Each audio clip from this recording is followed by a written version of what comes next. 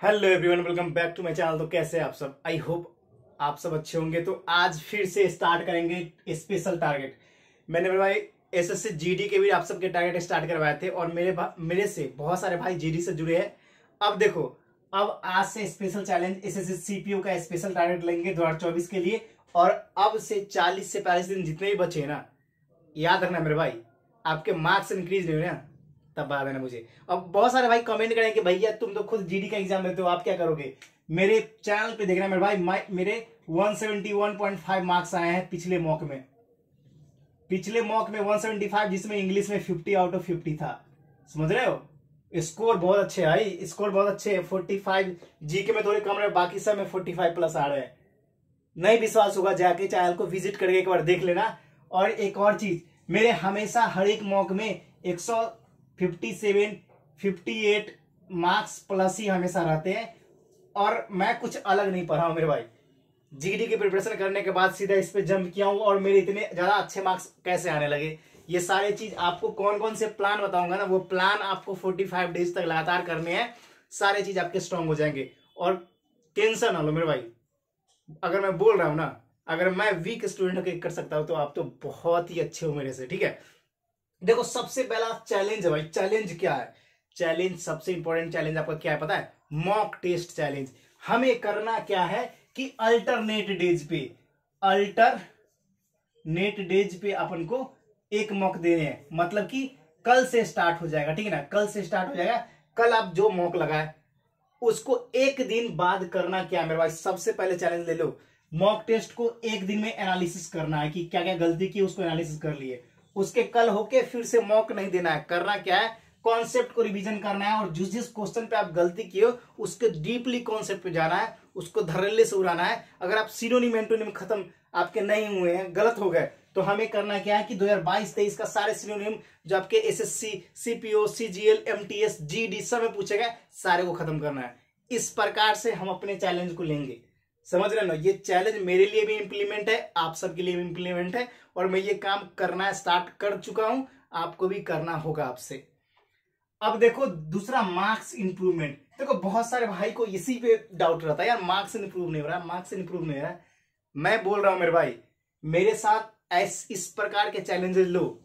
Regular mock test alternate days पे लगाओ। Saturday Sunday को तो रेगुलर लगेगा ही लगेगा, लेकिन बाकी अल्टरनेट डेज़ पे लगेंगे हमें, हमारे मॉक तो देखो हम सब करेंगे क्या? और मॉक टेस्ट कौन सा लगाना है, ये भी बता देता हूँ आप सबको। मॉक टेस्ट आपको प्रीवियस क्वेश्चन लगाना है, दो हज़ार बाईस के लगाना है, दो हज़ार तेईस के लगाना है, वो नहीं तो दो हज़ार इक्कीस के लगाएँगे, दो हज़ार उन्नीस के लगाएँगे, लेकिन मॉक सारे पीवाई क्यू लगाएँगे। उसके बाद करेंगे क्या? सैटरडे संडे को एक्सपेक्टेड मॉक लगाएँगे। लाइव मॉक लगाएँगे। ओली बोर्ड से जो भी बोर्ड से देते हो, बस करना है। लेकिन अभी सबसे पहले previous year question previous year mock test पे ध्यान देना है। समझ गए? तो मार्क्स इंप्रूवमेंट क्या है, कैसे होंगे? सबसे बड़ा लॉजिक ये है। देखो, जब मैं स्टार्ट किया था ना मेरे भाई, मैं जिस समय स्टार्ट किया था, मेरे मैथ्स बहुत वीक थे यार, मेरे इंग्लिश बहुत वीक थे, मेरे सारे सब्जेक्ट वीक थे। रियल में है कि अभी भी उतना अच्छा नहीं है, लेकिन स्कोर कैसे कर रहा हूँ वो ध्यान देना। सबसे ज़रूरी होता है आपका सिलेबस ठीक है ना? अब देखो, बहुत सारे भाई का सिलेबस कंप्लीट होगा, बहुत का नहीं होगा। मैंने सात से आठ महीने राकेश यादव सर से, ठीक है ना सिलेबस अच्छे से कवर रखी, चाहे इंग्लिश के हो, चाहे वो रीजनिंग के हो ठीक है ना? रीजनिंग के मैंने पीयूष वार्सने सर से लिए बाकी सारे टीचर से मैंने सिलेबस कवर कर रखे। सात से आठ महीने पेशेंस का गोली खाया हूँ। उसके बाद एग्ज़ाम एस एस जीडी का दिया हूँ। अब मैंने सीपीयू का डायरेक्ट ले, ले रखा है और जैसे ही मैंने मॉक टेस्ट लगाया तो मेरे मार्क्स अच्छे आ रहे हैं। इसका रीजन है सिलेबस मेरा कंप्लीट है। दूसरा अंडरस्टैंडिंग अंडरस्टैंडिंग किस रीजन से बोल रहा है वो आगे बात करेंगे। तो आपके भी मॉक टेस्ट अगर लगातार लगाओगे तो नंबर ऑफ़ आइडियाज़ जनरेट होंगे जिसके कारण आपके स्कोर बढ़ेंगे हंड्रेड परसेंट समझ रहे हो? अब देखो मार्क्स मैथ्स में फोर्टी फाइव प्लस क्वेश्चन कैसे? अभी भी मेरे मैथ्स में फोर्टी फाइव प्लस कुछ मॉक में आए हैं, कुछ मॉक में नहीं भी आए हैं, लेकिन आप भी कर सकते हो। कैसे? भाई साहब, आपको पूरे, देखो कुछ कुछ तीन चार क्वेश्चन तो कैलकुलेटिव आएँगे, ये हंड्रेड परसेंट बात है एक दो क्वेश्चन आपको समझ में नहीं आएगा, लेकिन मैं इतना बोलता हूँ मेरे भाई फोर्टी फाइव प्लस क्वेश्चन आसानी से कर सकते हो। बसरते आपके सारे चैप्टर पे ठीक ठाक कमांड होनी चाहिए। मैं ये नहीं बोलता कि आप बहुत तो बन जाओ। नहीं मेरे भाई, प्रैक्टिस अच्छी होनी चाहिए। प्रैक्टिस अच्छी होगी तो आराम से फोर्टी फाइव प्लस आ सकता है। अगर आपके अभी तीस, पच्चीस, पैंतीस तक आ रहे हैं तो आपके स्कोर ऑब्वियस बात है एग्ज़ाम में आप forty three, forty four plus कर लोगे मॉक एनालिसिस के साथ, उसके कॉन्सेप्ट रिवीजन के साथ। कहाँ से क्वेश्चन पूछा जा रहा है, उसके साथ। ठीक है? तो इस प्रकार से आपको मैथ्स के स्कोर इंप्रूव होंगे और जो जो चैप्टर आपको छूटा हो, उसके बेसिक कॉन्सेप्ट पढ़ो और फिर टेस्ट दो, देखो इंप्रूव हो जाएँगे। और एक और इंपॉर्टेंट बात है आपका सेक्शनल मॉक सेक्शनल मॉक भी टेस्ट लगाया करो, जिससे आपके और मार्क्स इंप्रूव होने ही होने हैं।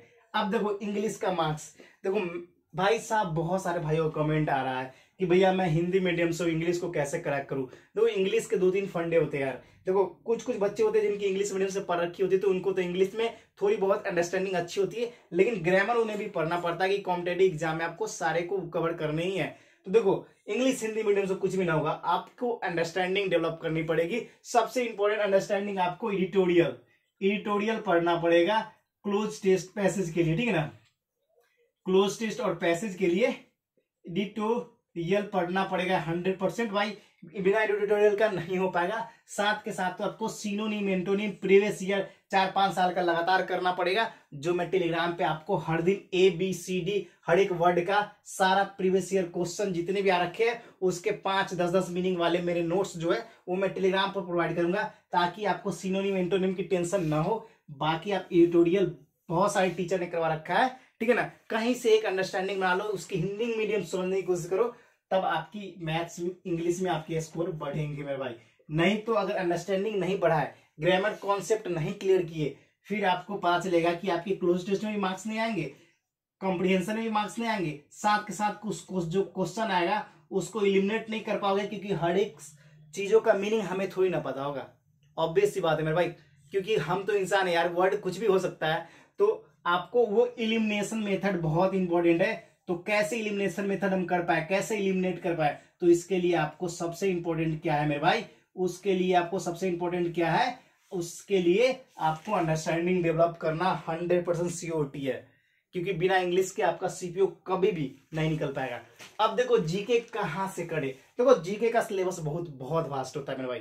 बहुत वास्ट होता है। और एक चीज़ बात मेरे भाई जीके से सारे भाई को डर लगता है लेकिन इस डर को खत्म करने के लिए मैं बस यही चीज़ बोलूँगा, चुपचाप जाके कुछ नहीं पढ़े हो तो ठीक है, कुछ पढ़े हो फिर भी ठीक है कॉन्सेप्ट को रिवीजन करो, लेकिन नहीं पढ़े हो तो अब से आपको प्रमाण सर, प्रमाण एसएससी चैनल जानते ही होंगे, वहाँ से जाके पीवाई सीरीज़ को कंप्लीट करो। पीवाई क्यू सीरीज़ को कंप्लीट कंप्लीट करो, जो सीरीज़ थर्ड अभी चल रहा है, उसको कम से कम लगभग के पचास वीडियो होंगे, सारे को खत्म कर देना। पेन अभी होंगे आपको बहुत सारे, क्योंकि वो सर बहुत लिखवाते हैं आपको।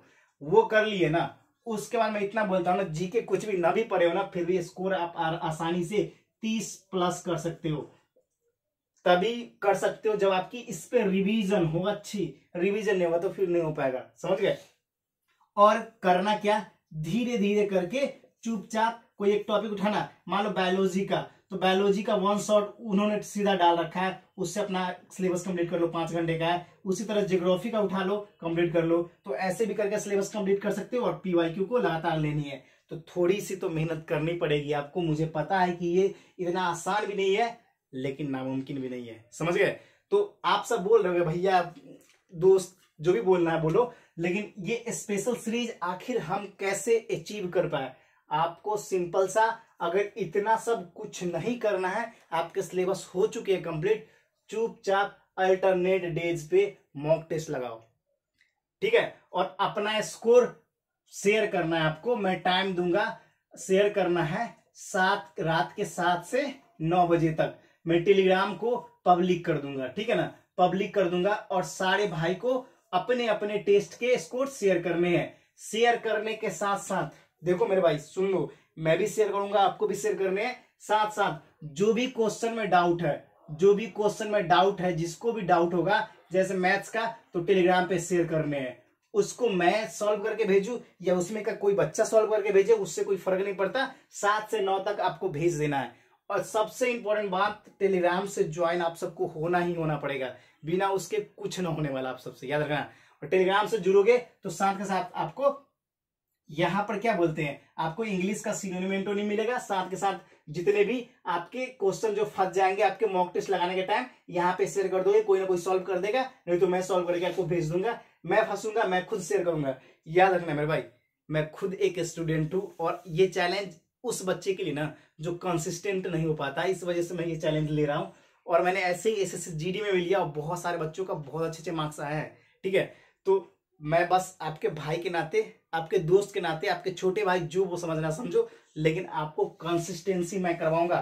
साथ के स्पेशल क्या है एक और? एक और इंपॉर्टेंट सबसे स्पेशल बात तो ये है कि कभी कभी सैटरडे चाहे संडे और जैसे एग्ज़ाम के आपके 25 दिन बचेंगे, डेज़, फिर रात के 10 से 10 से, न जाने कितने टाइम तक लाइव रहूँगा मैं। मैं स्टडी करूँगा और आपको भी करवाऊँगा, लगातार निरंतर मेहनत। कोई एक टॉपिक उठा लूँगा, सीधा उसकी रिवीजन आपको भी करनी है। अपने घर में बैठकर मैं भी यहाँ पे ऑनलाइन आपको देख, पढ़ते रहूँगा। आपको भी पढ़ना है, मेरे साथ स्टडी विथ लाइव मेरे साथ लाइव पढ़ना है। तो ये सारे चीज़ सब आपकी भी कंसिस्टेंसी आपकी भी डेडिकेशन इसमें बहुत ज़रूरत है, तभी स्कोर अच्छा होगा और मेरे भी मेरे भी इससे पढ़ाई में बूस्ट होंगे।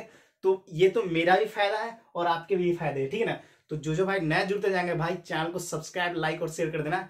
बाकी, पता है ना वीडियो नहीं देखे हो, बहुत लगा के बहुत बहुत भाइयों को शुरू में विश्वास नहीं होता ना।